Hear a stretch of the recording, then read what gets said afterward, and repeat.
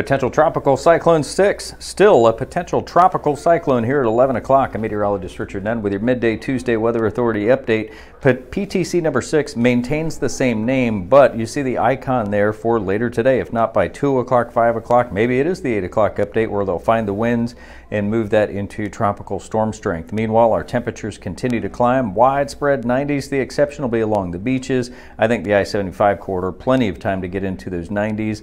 In southeast Georgia, ready, set, sweat with feels like temperatures across the board from the beaches inland about 100 up to 105, 106 degrees. Showers and storms, US 17, 95 will continue to cross over US 1 and 301 southeast Georgia, 95 leading over toward Highway 301 in northeast Florida, and a little less coverage here as we hit the middle of the work week. Hey, the shrimp are back in town looking for some baseball. Summertime's here. You got baseball. That's looking pretty good as long as you're ready for the weekend and what could be a tropical impact coming through. Right now, it does look like we'll have a tropical storm in the Gulf of Mexico. Mexico.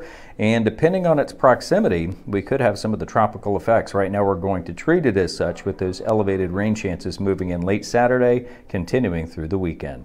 That's your forecast. Just a click away at News4JAX, a shout away on your favorite devices.